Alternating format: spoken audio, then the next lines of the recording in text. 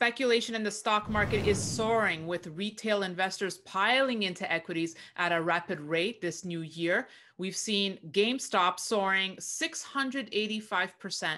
What is happening here to help us decipher everything today is Vince Lanci, founder of Echo Bay Partners. He's also considered an industry insider and a frequent contributor to zerohedge.com. Vince, welcome back to the show.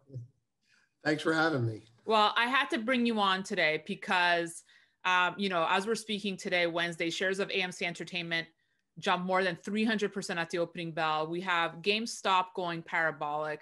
We have Apple uh, shares being tossed around like a rag doll. Right. Um, you know, before I help, before I ask you to to just explain the narrative here a second, have you ever seen anything like this in your entire trading career that really began when you were three years old? Uh, uh, only in isolated commodities, never across broader markets. So maybe natural gas in the wintertime or a hurricane, maybe silver when Warren Buffett bought it, but nothing like this, not even the flash crash or the collapse of 2008. This is big, I think. Okay, so what I want to accomplish today for our viewers um, and for myself really because it will be an educational piece for, for me as well vince is you know who's behind it who wins who loses and is this a short-term uh, trend or a, a real paradigm shift? So so let's start with you know how this snowballed now we know it, it happened on Reddit, but who's really behind it? Where we hear, you know, we hear the theories that it's a bunch of kids who are bored. There's no uh, sports betting happening, and they took to this. But you know, how do you see it? You can start with Bitcoin. One of the reasons that people care so much about Bitcoin, or one of the reasons that it's so uh, in the in the uh, forefront, is because it's it's about decentralized finance. I'm not saying Bitcoin itself is DeFi, but DeFi is about removing intermediaries, removing brokers and bankers and about things in the middle. So you're removing these centralized powers uh, that control the flow. And that's one of the attractive things in Bitcoin. And generationally, younger kids are, you know, by younger, I mean, you know, anywhere between 15 and 45.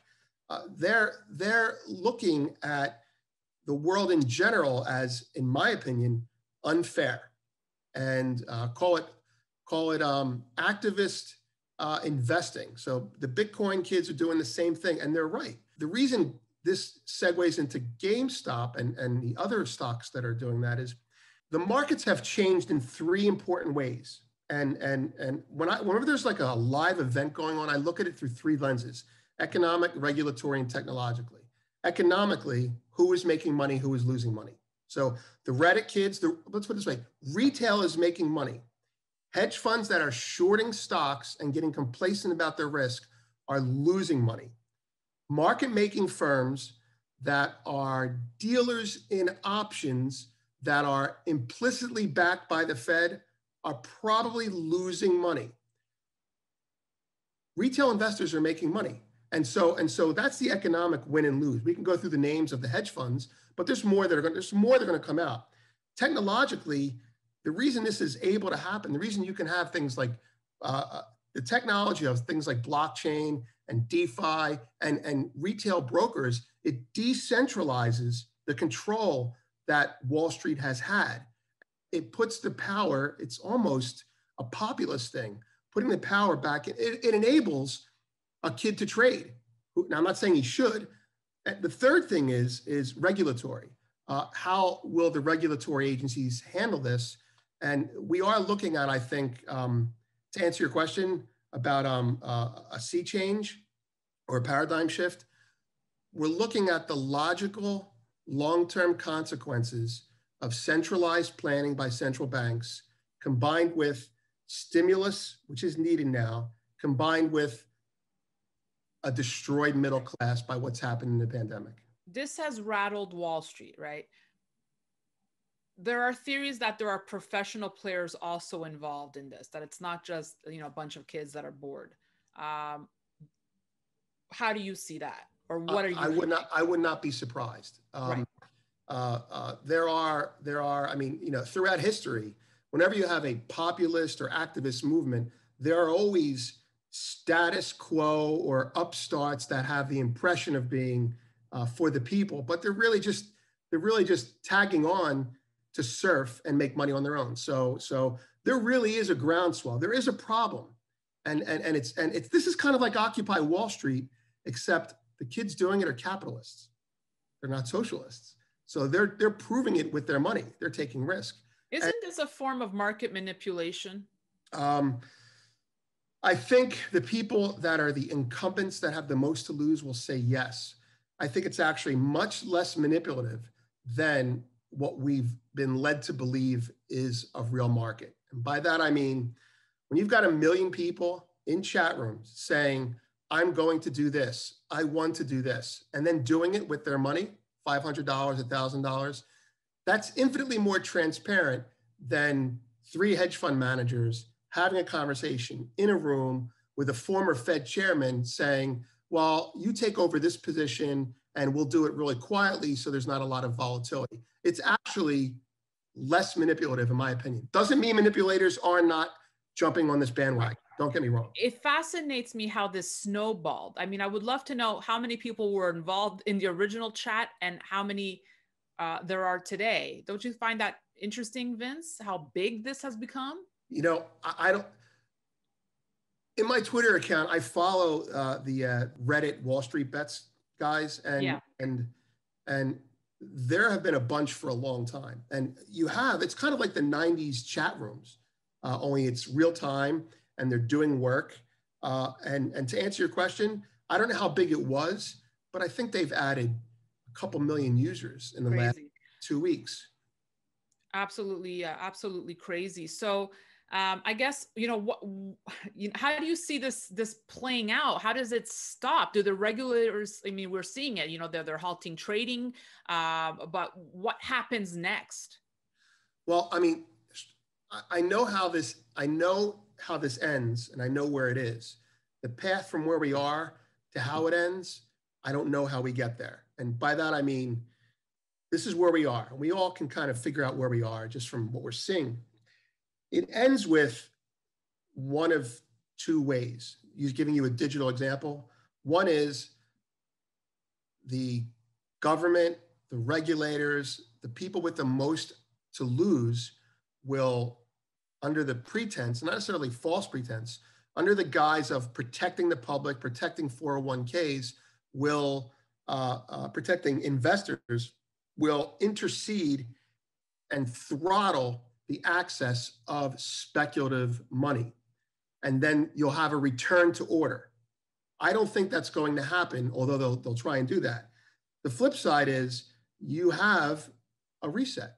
And I don't necessarily mean end of the world reset. I mean, I mean, it's a meet the new boss, same as the old boss type of situation where the the, the kid on Reddit uh, uh, becomes a hedge fund manager earning two and 20, mm. co-opted. So, so, you know, I'm a little bit all over the place on this because it's still developing. Yeah. But I think it ends. It ends with a clampdown. Yeah. Regulatory, technologically, as you said, okay, and economically, uh, they'll raise margin requirements. Uh, they'll prohibit options from being traded unless they're closing. They did this in silver in like 1987. I, heard. I'm not that old. Um, uh, how we get there, I don't know though. Every time we speak, a clampdown happens immediately after, Vince. Right. Just right. saying. I'm just putting That's it right. out there. Okay, wait. I had one more more more question because I, am learning a lot from you here today. Um, why GameStop? Is it generational? Like, why did they choose GameStop?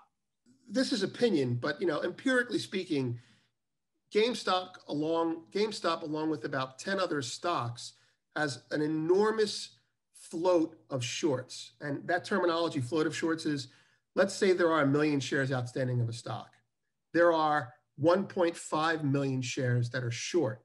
So people are borrowing more shares than exist and shorting the stock. Mm. So you have a large float or a large open interest of inventory of hedge funds that are short the stock for a long time, been making money, they're complacent, they haven't gotten out. And so now what you have is you have these shorts get spurred to close because people start buying the stock. But people are buying options.